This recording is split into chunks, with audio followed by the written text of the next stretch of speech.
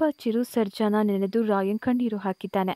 ಇವತ್ತು ಬಹಳಷ್ಟು ದುಃಖದ ದಿನ. ಏನಂದರೆ ಜೂನ್ ಏಳು ಎರಡು ಸಾವಿರದ ಇಪ್ಪತ್ತೆರಡು. ಚಿರು ನಮ್ಮನ್ನೆಲ್ಲ ಬಿಟ್ಟು ಹೋಗಿ ಇಂದಿಗೆ ಎರಡು ವರ್ಷಗಳು ಕಳೆದು ಹೋಯಿತು. ರಾಯನ್ಗೆ ಅದು ಹೇಗೆ ಗೊತ್ತಾಯಿತು ಏನೋ ಗೊತ್ತಿಲ್ಲ. ಬೆಳಿಗ್ಗೆಯಿಂದ ಒಂದೇ ಸಮನೆ ಕಣ್ಣೀರು ಹಾಕ್ತಿದ್ದಾರೆ.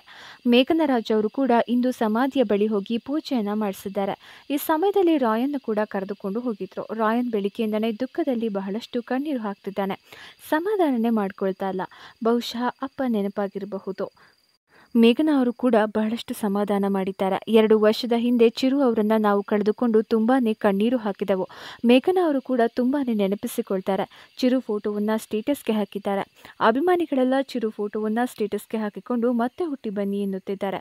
ಚಿರು ಪ್ರತಿರೂಪವಾಗಿ ರಾಯನ್ ಬಂದಿದ್ದಾರೆ. ಚಿರು ಬಿಟ್ಟು ಹೋಗಿ ಎರಡು ವರ್ಷ ಆದರೂ ಚಿರು ಈಗಲೂ ನಮ್ಮೊಂದಿಗಿದ್ದಾರೆ ಅನ್ನಿಸ್ತಾ ಇದೆ ಮೇಘನಾ ಅವರು ಚಿರು ಅವರನ್ನು ಪ್ರತಿಕ್ಷಣ ನೆನೆಯುತ್ತಾರೆ. ಅದೇ ರೀತಿ ತಮ್ಮ ಧ್ರುವ ಸರ್ಜ ಕೂಡ. ಹೌದು. ಇತ್ತೀಚೆಗಷ್ಟೇ ಡ್ಯಾನ್ಸಿಂಗ್ ಚಾಂಪಿಯನ್ ಶೋನಲ್ಲೂ ಬಂದಿದ್ರು. ಅತ್ತಿಗೆ ತುಂಬಾ ಎಮೋಷ್ನಲ್ ತುಂಬಾ ಸಾಫ್ಟ್ ಅಣ್ಣನನ್ನು ತುಂಬಾ ಮಿಸ್ ಮಾಡ್ಕೊಳ್ತಾ ಇದ್ದಾರೆ. ಅವರ ಸ್ಥಿತಿ ನನಗೆ ಗೊತ್ತು. ಹೀಗೆಯೇ ಭಾವುಕರಾಗಿದ್ರು.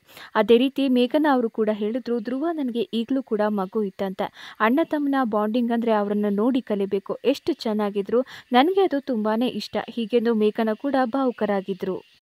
ರಾಯನ್ ಚಿಕ್ಕ ವಯಸ್ಸಿನಿಂದಲೇ ಚಿರು ಫೋಟೋ ನೋಡಿದ್ರೆ ಸಾಕು, ಅಪ್ಪ ಅಪ್ಪ ಅಂತ ಕಂಡುಹಿಡಿತಾ ಇದ್ದ. ಈಗಲೂ ಕೂಡ ಚಿರು ಅವರ ಫೋಟೋ ವಿಡಿಯೋ ನೋಡಿದ್ರೆ ಅಪ್ಪ ಅಂತ ತೋರಿಸ್ತಾನೆ. ಅಷ್ಟರ ಮಟ್ಟಿಗೆ ಚುರುಕಿದ್ದಾನೆ. ಮೊದಲಿಗೆ ಅಮ್ಮ ಅನ್ಲಿಲ್ವಂತೆ, ಅಪ್ಪ ಅಂತಾನೆ ಹೇಳಿತಂತೆ ಅಷ್ಟರ ಮಟ್ಟಿಗೆ ರಾಯನ್ ಚೆನ್ನಾಗಿ ಬೆಳೀತಾ ಇದ್ದಾನೆ. ನೀವು ಚಿರು ಅವರನ್ನ ಮಿಸ್ ಮಾಡ್ಕೊಳ್ತಾ ಇದ್ದಾರಾ? ನಿಮ್ಮ ಅನಿಸಿಕೆಯನ್ನು ಕಮೆಂಟ್ ಮಾಡಿ ತಿಳಿಸಿ.